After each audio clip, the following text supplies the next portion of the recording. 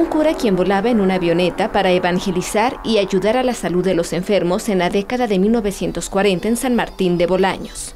Se trata del padre Emeterio.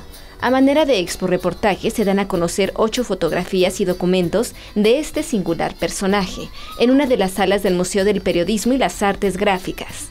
El periodista Francisco Vázquez Muñoz es el autor de la exposición. Yo estaba haciendo un, un, trabajo de investigación, de rescate de fotos antiguas en toda la zona norte del estado de Jalisco.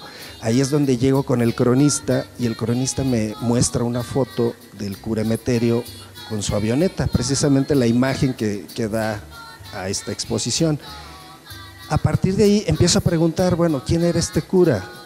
Y me dicen que este cura además ya les hace milagros o me empiezan a contar historias fantásticas, leyendas, como que lo aventaron al arroyo, le pusieron unas piedras para que se ahogara y que al día siguiente ya estaba vivo dando misa. Padre Emeterio, que vuelas por los cielos, es el nombre de esta exposición. Las fotografías fueron captadas por Tomás Montero, reconocido fotógrafo quien captó imágenes de celebridades de aquellos tiempos como Dolores del Río, María Félix y el artista plástico Diego Rivera. El periodista Francisco Vázquez nos comenta acerca de la vida del cura Emeterio.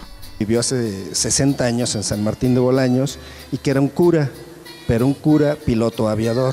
Entonces, ese es el tema o el enganche que me da para eh, hacer este reportaje cómo es que un cura eh, aprende a volar. Bueno, cómo a un cura se le ocurre un día aprender a volar, comprar su avioneta para poder llevar la misa a cada uno de los ranchos de San Martín de Bolaños y, y no solamente se queda en un sueño, sino que lo cumple. El padre Emeterio era muy querido por la población de San Martín de Bolaños, pero lamentablemente fue su noble causa la que le causó su muerte. Él reunió dinero y compró su primera avioneta. Entonces a él se le ocurre comprar esta avioneta para ir a dar misa en cada uno de los ranchos, porque él tenía 14 pistas en cada uno de los ranchos, pero al mismo tiempo sacaba a los enfermos a Guadalajara, a Tepic, a Zacatecas. Entonces ahí es donde me empiezo a encontrar un personaje tan querido porque era, era la ambulancia del lugar. Y el querer modernizarse y conseguir una avioneta de mejor calidad le costó la vida. Murió a los 44 años al regresar de Guadalajara con un nuevo transporte aéreo y se le dificultó aterrizar. Su hazaña de nobleza la captó la revista Impacto a principios de los años 50 del siglo pasado.